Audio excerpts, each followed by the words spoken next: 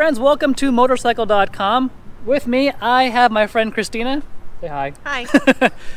As you can see up there, we are at Kawasaki HQ. In case you didn't know, Kawasaki has a motorcycle called the Vulcan S, powered by a 650 twin that you can see in the Ninja 650 and the Versys and other bikes.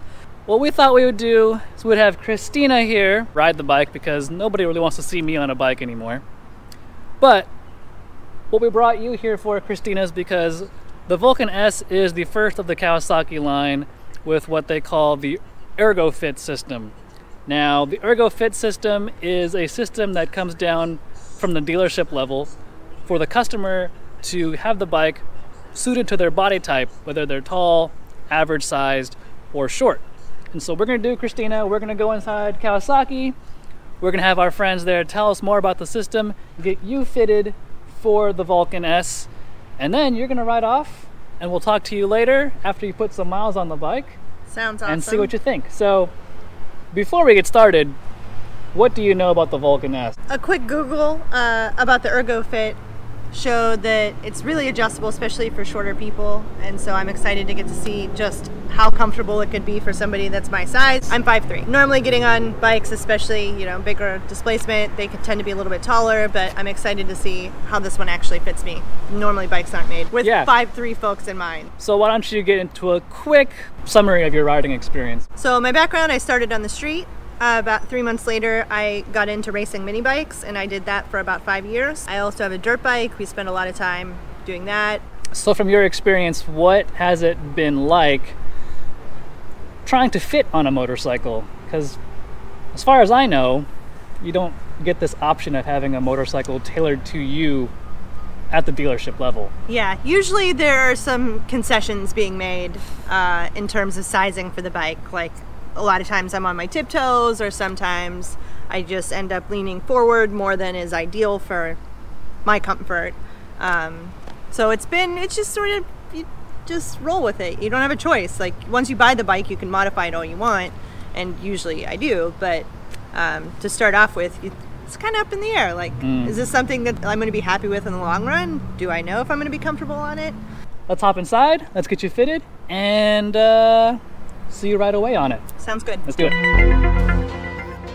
You're going to be sitting on this Vulcan S in the mid reach, which is the standard um, position.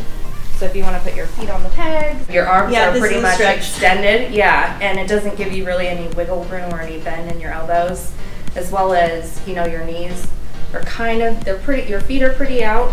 Um, they're not fully extended, but you know sometimes you want a little bit more. Um, bend in your knee. What I would probably recommend for you is the reduced reach. It would be a different handlebar, a different seat, and a different foot peg position. So if you want to step up the motorcycle, and I will go ahead and change out this seat. Take the reduced reach. So this is the full reduced reach configuration. Oh, that's Um, way different. yeah, it's very different.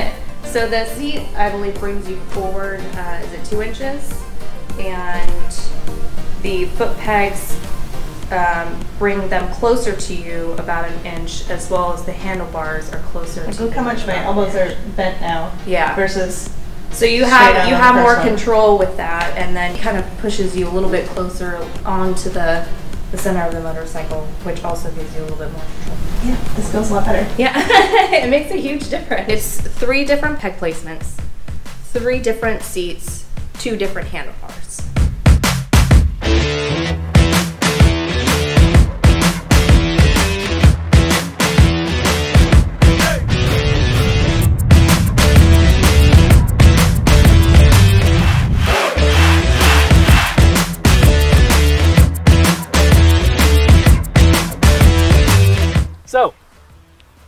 You've ridden the bike.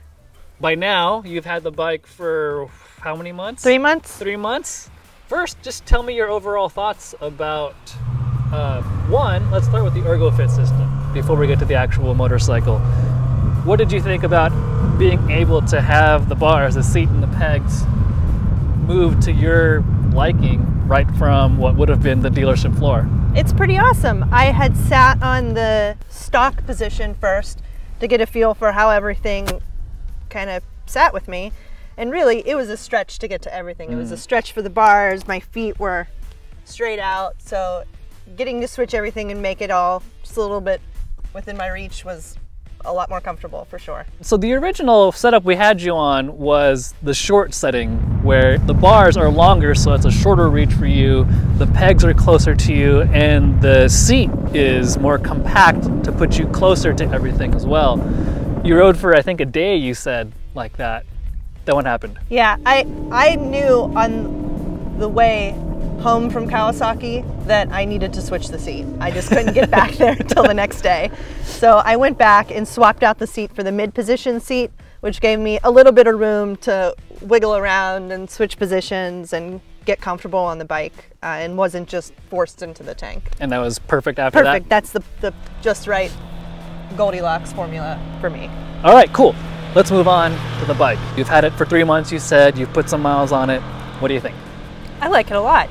I'm not much of a cruiser person, as you know. And I know that. so this was a, a, a far reach from my comfort zone, uh, but I have really enjoyed it. I love the seating position. I strangely enjoy having my feet out in front of me. um, and I really, really like being able to touch the ground. That's something most of my bikes I'm, I'm tiptoed at best, have to get off it to move it around. you ride dirt bikes. And I ride dirt bikes, so I'm used to hanging off the bike, and that's I'm totally comfortable doing it. But being able to park anywhere I want is something that you just don't even realize you're annoyed with until you don't have to do it. so this has been pretty great. I've definitely enjoyed my time with it. It handles really well and not exceptionally light, but when you're on it and moving it around, it feels super light. The center of gravity is very low to the ground. The saddle is extremely narrow. So even if you're a lot shorter than me or have a very short inseam, it's very easy to touch the ground and very easy to move around. The power delivery isn't anything abrupt or scary. I think, and, and the best part is that while it is a great size bike for a new rider, it's not something you're going to want to sell in a year or two because it's got plenty of power to keep up with any of the other bikes that you're going to be riding with. I think that the clutch pull is very easy. Uh, the reach to the levers is adjustable too, which is nice. It's a little bit clunky to get to the turn signal button. Uh, you have to kind of take your hands off the off the bar and move it to be able to boop the turn signal button. But other than that, the controls are great. I love the display is very simple and it just gives you the information that you need. And also great for a new rider is that it has a gear indicator. That's awesome. For- Yeah. even for experienced riders. Yeah, I still want to know. Yeah, I still want to know what the hell I'm gear I'm in. Yeah, it's a pretty self-explanatory motorcycle. We've talked about this bike before. The engine's great. That 650 twin that makes enough power to keep you entertained, but not too much to scare the crap out of you. You know, transmission works fine, brakes work fine. But there was an area you told me before that you personally found less than optimal. What is that? Well, I think that it would be a great addition to the ErgoFit package if they could set up the suspension for the rider's weight. I think that the bike is a little bit heavily sprung for somebody my size. I get bounced around quite a bit on freeways and really any bumpy road is not not, very comfortable. Well, what, what about roads like this though that are smooth and twisty and The handling is great. yeah? Um, and for being a cruiser, it actually has really great cornering clearance. So even on the really tight technical stuff, you're not dragging the pegs around every corner. So you can carry a decent amount of speed through the canyon. But to be honest, I doubt someone looking at a bike like this is going to be riding twisty roads. They're probably more just gonna be cruising around. In which case, your point about the suspension maybe is even more important, right? Yeah, well, if you're driving around Los Angeles, our roads are notoriously terrible. And not being able to stand up on the pegs to go over a pothole or a bump on the freeway makes it a little bit rougher. But I think there's a little bit of adjustment that you can do with the rear shock as it is. Just preload. So, Well, your- your if it were my bike, that's a modification I would make. which is easy enough to do, right? yeah. Otherwise, Yeah, I'd upgrade the brake lines, I'd fix the suspension, and other than that, the bike functions perfectly. you just go ride. You just go ride. Perfect. hit the canyons or go down the street or Whatever. whatever it is you like to do. It would make a good road trip bike too, I think. Except there's no cruise control. yeah, so I think Kawasaki makes bags that you can strap to the back mm-hmm. and they've got a bunch of accessories for it. I think they even have a passenger seat. So, Christina, earlier you mentioned you've ridden dirt bikes, you did some mini moto racing. It's fair to say the cruiser category necessarily is not your cup of tea, right? I don't know if I'd buy one myself. What did you think of the Vulcan? I liked it a lot. Yeah? Yeah, I have really enjoyed my time with it. I parked my other bikes for the three months that I've had this and I've only ridden the Vulcan. Um, so I have really enjoyed my time getting to go to the canyons. I went down to Cook's Corner, we did Malibu, coming up here. Um, I'm really happy on the twisty roads. This bike handles great. Um, it really surprised me for being a cruiser. I was expecting it to just be awkward to turn and you're not scraping the pegs around every corner. I can, I fit very comfortably on the bike. The seat is awesome. Um, my knees aren't screaming by the end of the day. so Well, I I know when I called you to say, Do you want to ride a bike? And you said, Yeah, sure. What bike?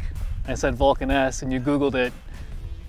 You were a little apprehensive on the phone. a little skeptical. Yeah. Um, but I've, I've been pleasantly surprised. Very cool. And for under eight grand, not a bad deal.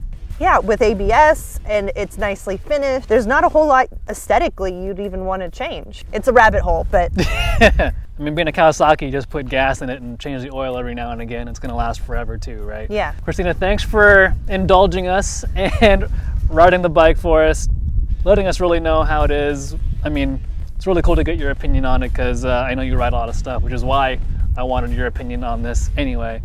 Um, good news for you viewers as well. Christina's also going to do a written review, right? yeah. Very cool. So anything she forgot to mention on camera, hopefully you'll remember it for the uh, written part. So be sure to go to motorcycle.com, read Christina's full review there, and as always, we'll see you next time.